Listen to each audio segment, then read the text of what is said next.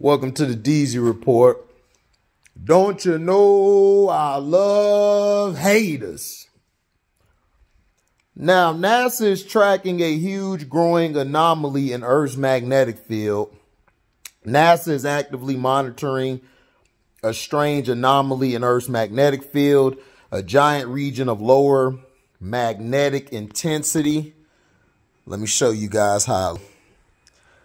That's how it looks right there. That's what they're tracking. And if you notice, you know, in the skies above the planet stretching out between South America and Southwest Africa, you see that. Now, they're talking Africa is splitting apart and a new ocean is on forming. Now, this vast developing phenomenon called the South Atlantic Anomaly has intrigued and concerned scientists for years and perhaps none more so than NASA researchers.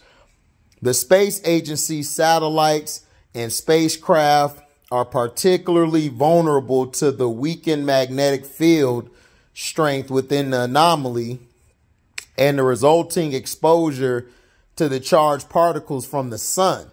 The South Atlantic Anomaly, or the SAA, likened by NASA to a dent in Earth's magnetic field or a kind of pothole in space, generally doesn't affect life on Earth but the same can't be said for orbitable spacecraft, including the International Space Station, which pass directly through the anomaly as they loop around the planet at low Earth orbit altitudes.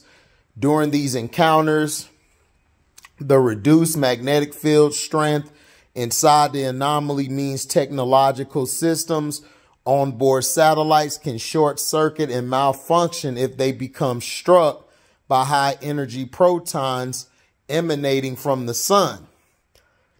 These random hits may usually only produce low level glitches, but they do carry the risk of causing significant data loss or even permanent damage to key components. Threats obliging satellite operators to routinely shut down spacecraft systems before spacecraft enter the anomaly zone. I mean, before a spacecraft enters the anomaly zone.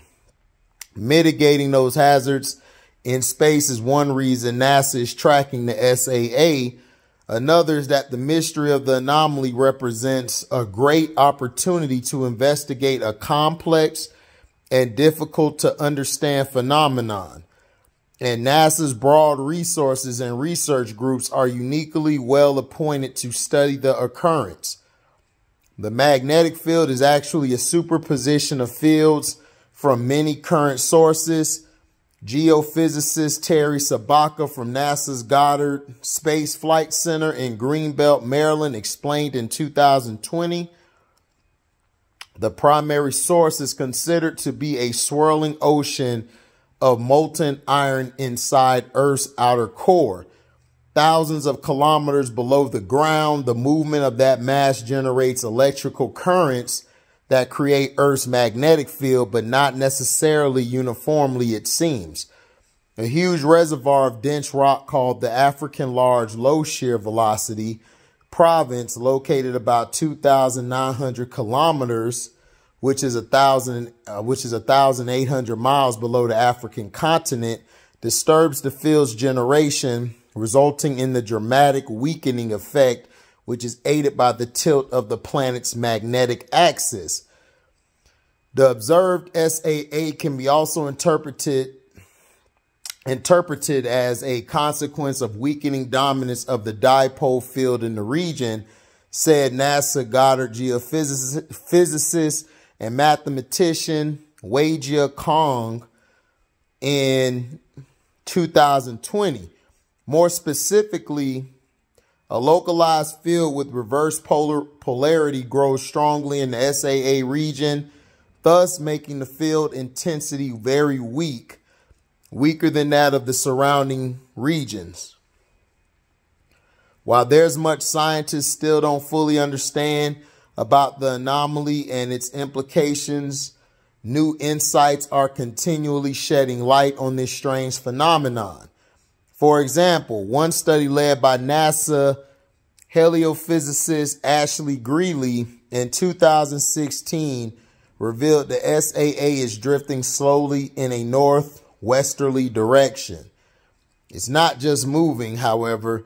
Even more remarkably, the phenomenon seems to be in the process of splitting in two, with researchers in 2020 discovering that the SAA appeared to be dividing into two distinct cells, each representing a separate center of minimum magnetic intensity within the greater anomaly.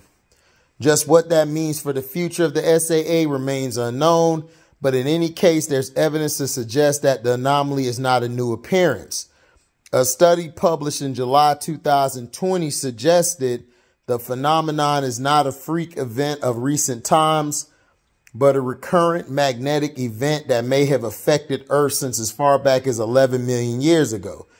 If so, that could signal that the South Atlantic anomaly is not a trigger or precursor to the entire planet's magnetic field flipping, which is something that actually happens. If not for hundreds of thousands of years at a time, obviously huge questions remain, but with so much going on with this vast magnetic oddity, it's all it's good to know the world's most powerful space agency is watching it as closely as they are. Even though the SAA is slow moving, it is going through some change and morphology. So it's also important that we keep observing it by having continued missions, says Sabaka, because that's what helps us make models and predictions. Now, there, I know you're like, why are you reading this and doing this? Because you guys need to know what's going on in the world outside of your community, outside of politics and sports and entertainment. You know, the world is messing up. It's messing up. You got the axis, you got the axis being turned or being taken off of its normal spin and when that happens, that's from the melting of the ice caps for years.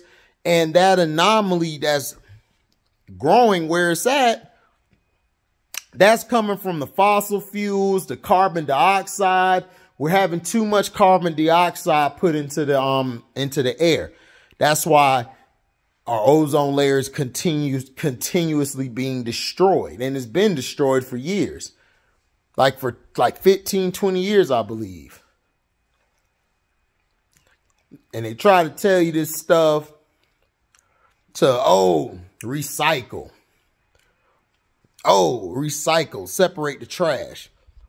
Where are you putting the trash at? See, what the trash does when you burn it, like they've been burning it, it puts CO2 in the air. And that carbon dioxide is destroying a lot of the oxygen cells that we need to breathe that the world and the plants need. A lot of the trees have been taken and torn down. They've been destroyed because of greed and because companies need to make money and money has been the problem. Money has been evil. Since we've been on this monetary system, the world has been nothing but losing life where it's going to come a time when the world reboots itself and everything just gets taken out. We'll have another ice age or whatever you call it. People are saying, oh, it's going to be 30 or 50 years from now. How do you know? How do you know it might not happen tomorrow? You don't know because you have big time corporations still trying to have that way of thinking. We're going to attack a certain group of color. The darker the skin tone in certain areas, we're going to cause division. In the major sports that we have, football in America and soccer worldwide, we're still going to be racist. We're going to show more favoritism to those of lighter tone. And what it's doing is, it's brainwashed everybody because everybody's brainwashing. They're not looking at the big picture. The big picture is we've killed the world. And right now we're on borrowed time. We're on borrowed time. You know, people will tell you, no, we got all this time in the world. okay. Okay.